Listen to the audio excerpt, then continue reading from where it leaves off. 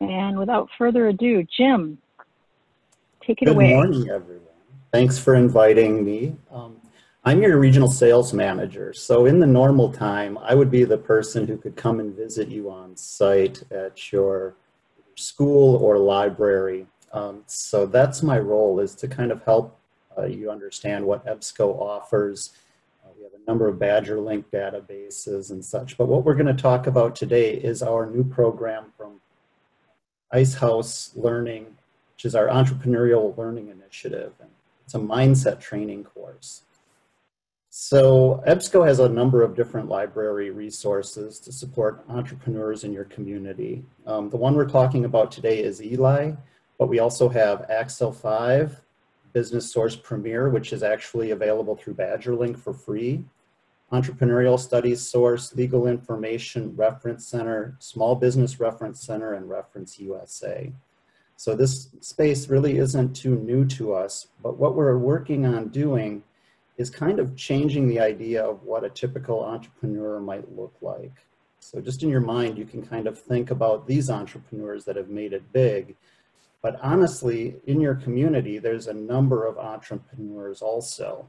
And they usually are people just like ourselves that are kind of thinking about an idea and saying, boy, it'd be really nice if I could start that type of business and see if I could make it a go. So at the library level, at your school, you could always promote an entrepreneurial mindset. Um, it's just the idea of how do you even start something like that? And that's what this coursework is all about. So in May of 2019, we actually held a webinar with the Library Journal that drew more than 400 registrants and over 200 attendees. Um, and what we did is we kind of asked where libraries stood in supporting the economic development of entrepreneurs. And it was kind of interesting to find out exactly what they had said. Um, for most, it was in their top three, and for some, it was actually something they're experiencing. So they were actively exploring that. And when we asked, how would you describe your current position? um, everybody wanted to improve it.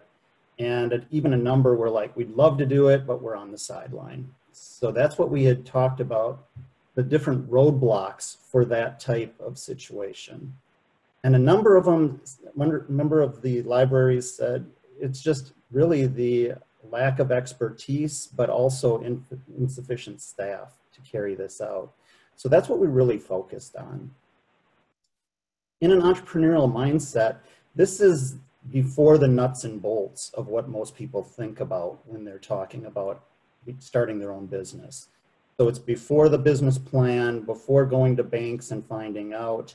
It really is that idea of how to get your mind in the right place to start something like this.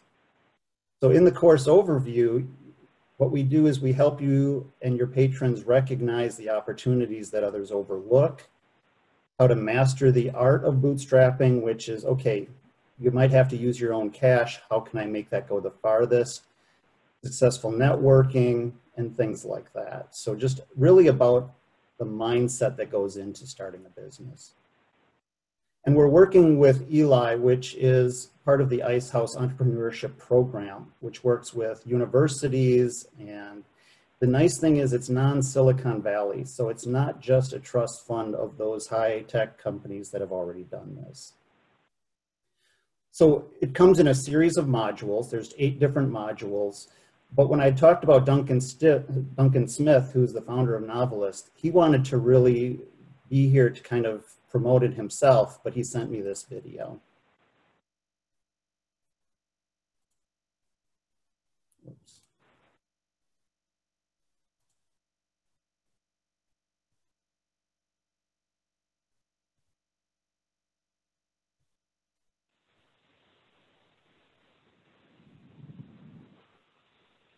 Did you see the video yet or not? We're not seeing the video, Jim. Um, try your screen share again to the new new share.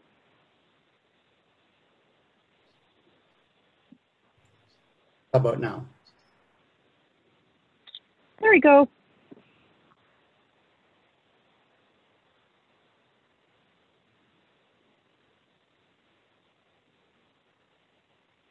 Can't hear him. Um, are you, you're not, on- you're just on your regular mic, correct?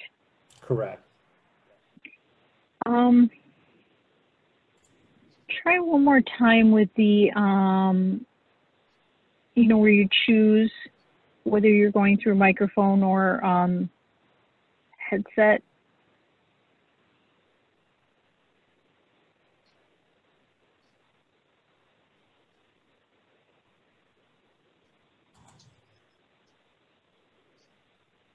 How's that? Is that better or not? Can't, can't hear Duncan like we did before.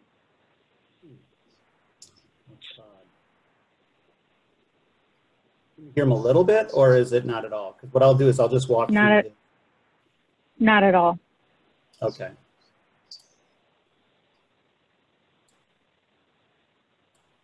And you're, and you can hear it through your, your, he- your, you're just playing it right off of your computer, correct? No headphones, no nothing? Yep.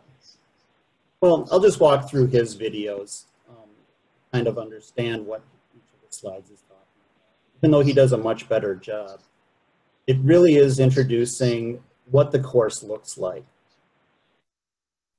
So as we take a look, these are what the modules look like. If you would try a trial or if you would kind of go through recognizing the opportunities, what's nice is it is self-paced. So you are able to log in to your account and take each of these.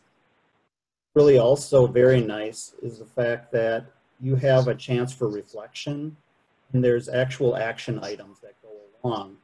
So you can spend as much time in each of the modules as necessary to make sure that you've mastered skills in that area.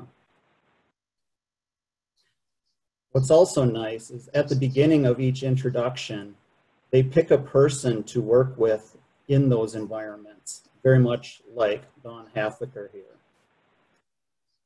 Dawn was a American veteran who had actually been hurt when she was on tour. And then what she was able to do is bring her ideas back with her when she was looking for an, a job.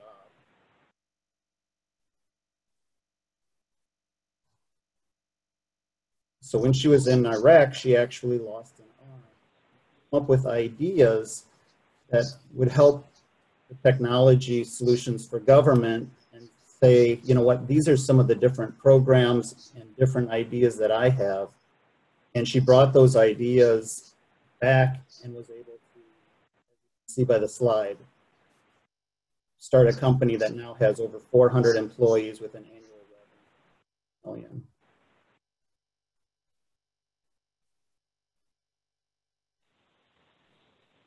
So if we had more people in our communities like Dawn, then you would be able to have ownership, self-directed, action-oriented, and engaged individuals that see problems as opportunities.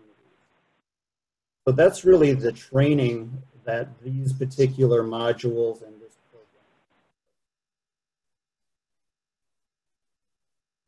Hey, Jim, you're fading in and out. Um, we're getting about half of the half of the words that you're saying. Huh. Okay. Wonder if it's because of the audio with my microphone. Um, you might want to shut the audio off. That it looks like it's still running on Duncan's. Um, Okay.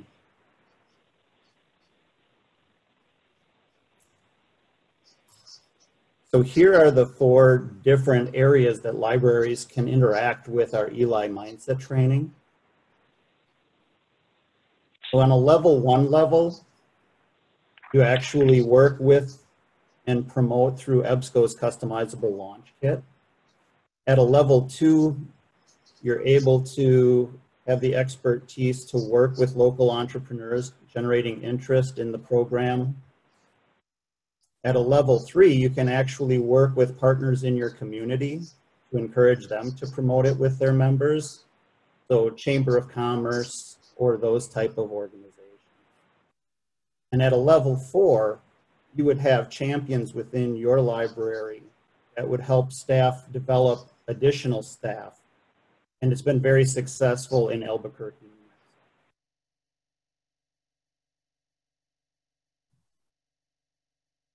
We also have, as part of our promotion, a launch kit that goes along with the Eli training kit. So there's handouts, the posters, bookmarks, and social media tiles. So at this point, I'm going to stop sharing and open a new share.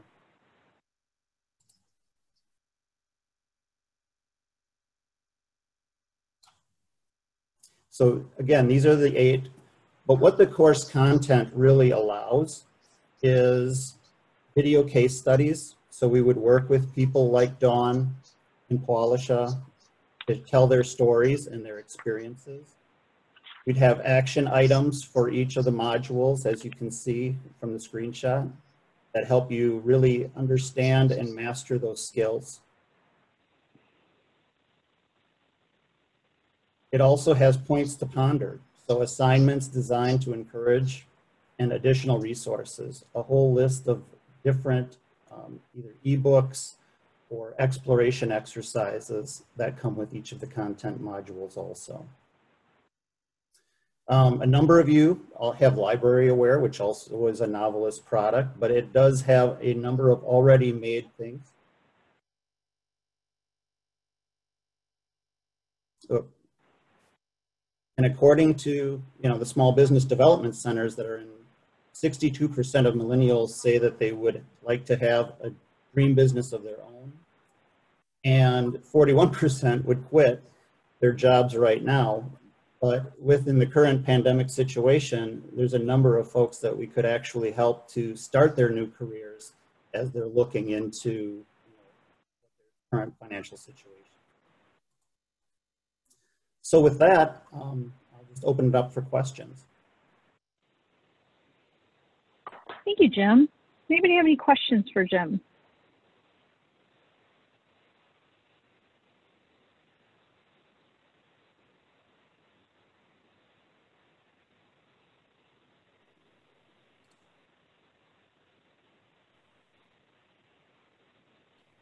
I guess I, I have a question, Jim. Um, is this available? Um, is, is the Eli available for trials or if people are interested, um, they can obviously get in touch with you.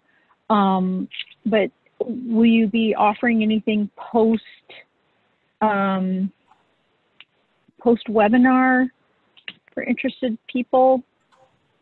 Excellent question. Yes, you can definitely trial the uh, the Eli program if you would like. Set up a 30-day trial typically what we like to do is just kind of again walk you through some of the modules so you understand you know what's available in the content. But just by emailing me at jjacobson at ebsco.com you can definitely try that out for yourself. Okay great. Thank you so much for being here with